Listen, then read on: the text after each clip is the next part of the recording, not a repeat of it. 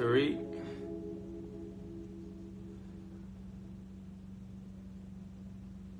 I no doubt. I'm gonna hit you up. I'm gonna hit you up in like five minutes. I got you. Let's get it.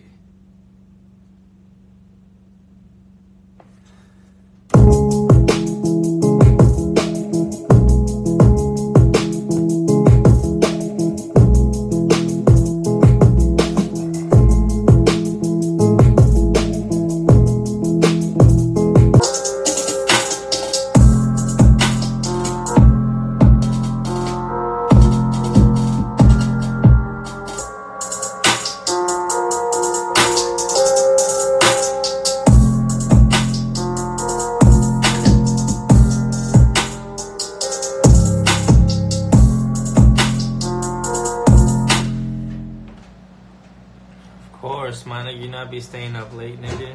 I woke up like at 12 o'clock.